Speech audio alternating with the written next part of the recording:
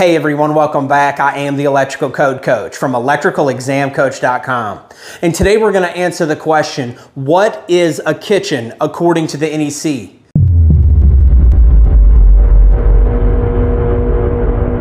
What implications does it have as far as circuitry and also our load calculations and why it's so important? So let me ask you a question. I'm standing kind of in what we might call a kitchenette. And the question is, is this a kitchen?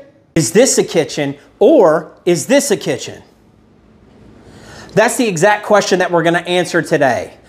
The first thing that I ask myself anytime I'm wiring something is where am I and what am I wiring? If you can answer those two questions, you'll always know where to go in the code. Where am I? Am I in a kitchen? Am I in a bathroom? Am I indoors? Am I outdoors? Is this residential or commercial? And what am I wiring? Are there any specific codes around that dishwasher or around that range that I'm wiring? And that will let me know. And if I can get those two things right, I know that I can get the entire install headed in the right direction. Now, few of us would argue that I am standing in a kitchen right now. We have all of the elements that we typically see in a kitchen. We have a dishwasher, refrigerator, sink, countertop space. We have our range here, and we also have our microwave which we of course know now that we have to, if we were wiring this brand new, we have to have our two small appliance branch circuits according to 210.11c. We also have to do our two foot, four foot spacing for our countertop receptacles that we find in 210.52c. And when we're doing our load calculation, we'd have to count 1500 VAs for each circuit that we do pull in this kitchen. But what happens when we get back over in the kitchenette where we started out? Let's head that way. When we get back over here, we see pretty much the exact same elements, don't we? We see our refrigerator, sink, some type of cooking, and our countertop space. So according to the NEC, is this a kitchen? And if it is, are we required to pull two more 20 amp branch circuits or are we allowed to wire it from the other kitchen? Are we going to have to follow the two foot, four foot rule for our receptacle spacing? Or would we follow general wall space spacing if it is not a kitchen? And are we going to have to calculate our 1500 VAs each if we're required to pull those two more circuits? Well, let's go ahead and find that answer now.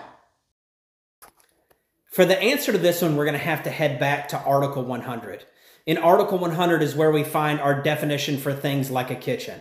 And in the 2020 and the 2023, it reads like this An area with a sink and permanent provisions for food preparation and cooking. So it has to have those elements in order to be considered a kitchen. And if it doesn't have all of those, it's by definition not a kitchen, and therefore it would not trigger the kitchen codes.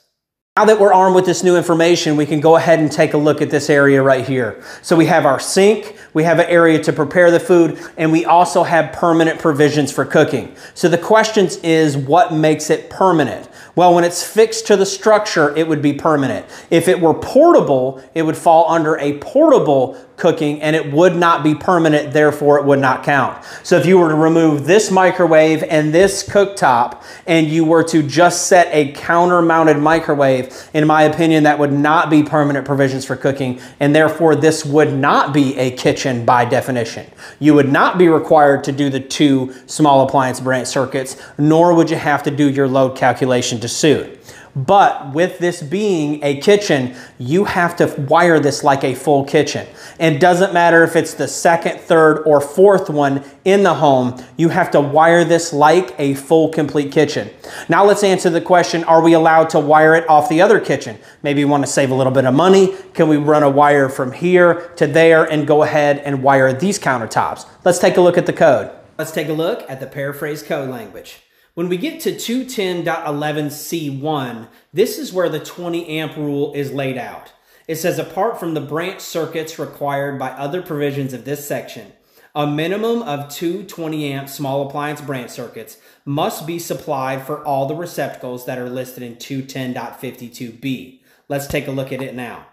It says receptacle outlets in areas such as kitchens, pantries, breakfast rooms, dining rooms, or similar spaces within a dwelling unit shall be served by the two 20 amp small appliance branch circuits that are mandated in 210.11c1, which are the codes that we just read. it requires you to have a minimum of two small appliance branch circuits to serve the wall spaces and the countertops in all of the areas that we just read above. It says they must supply all wall and floor receptacle outlets that are specified in 210.52a. And what that's saying is, is when you're in the kitchen, you're going to also have wall space as well, right? It's not just countertops. When you get to that wall space, you can do your spacing on the 6 foot, 12 foot rule for normal wall space, but they must be served by those two kitchen circuits. It also goes on to say that those two circuits must supply all countertop receptacle outlets as specified in 210.52c, which is where we pick up our 2 foot, 4 foot rule for our receptacle spacing, and any receptacle outlets intended for refrigeration equipment. But the sweet spot and the answer to our question comes down at the bottom there in part three. And at the very bottom of part three, it says no small appliance branch circuit shall serve more than one kitchen. Now we know that even though we're in a small kitchen, it's still required to be wired like a big kitchen. For this little space of countertop, this refrigerator, this sink, and these permanent provisions for cooking, we're required to run two more circuits just for serving this area. And they're not just to serve the countertop, they're also to serve the wall spaces in the area that you've got boxed out as the kitchen. And if we were to add other countertops in this area, they must serve those as well. It's also allowed to serve the refrigerator. So it doesn't necessarily have to be dedicated. It can be run off of those circuits, just like we read in the code. But what about for load calculation purposes? Is it adding any load to it? Do we need to add 1500 VAs more each for each one? Let's find out. For this one, let's look at the paraphrase code language in 210.52a. It says for each dwelling unit, the load must be calculated at 1500 VAs, volt amps, for each two-wire small appliance circuit as specified by 210.11c1. And that's back where we were required to do the minimum of two. So the answer to the question is yes. And that's why I've highlighted that word here. For each small appliance branch circuit in that home, they must be calculated at 1500 VAs each and added to the full feeder or service load calculation, depending on which one that you're doing. Now, in a big kitchen, we know that we're not just pulling two circuits, although the code would allow it. We're pulling one for the island, we're pulling one for the peninsula, we're pulling two for the countertops, you may be pulling one for another area. Each one of those would have to count as 1500 VAs. And then in this little kitchen here, you'd also have to add on, if you only pulled two, you'd have to add on another 1500 VAs each for each of those. Now let's take a look at the picture that I showed you earlier and see if it qualifies as a kitchen.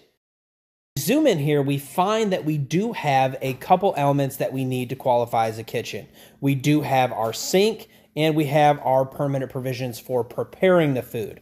But what we lack are permanent provisions for cooking. So what we don't have is a kitchen. That means if we were to wire this, we can wire it off of any general circuit, and we would be required to follow the 6 foot, 12 foot rule as laid out in 210.52a for just general wall space. You would not have to pull two kitchen small appliance circuits, and you would not have to calculate two more sets of 1500 VAs for your load calculation purposes. Well, that settles it. If it looks like a kitchen and acts like a kitchen, it's probably a kitchen. But remember, it has to have these three things. It has to have a sink and permanent provisions for food preparation and for cooking. I hope that in this video you learned a little bit more about the NEC and how to apply it when you're out in the field or if you're out inspecting. I am the electrical code coach, and my bargain is that these videos will add value to you, and you will in turn add value to others. Let's get to it.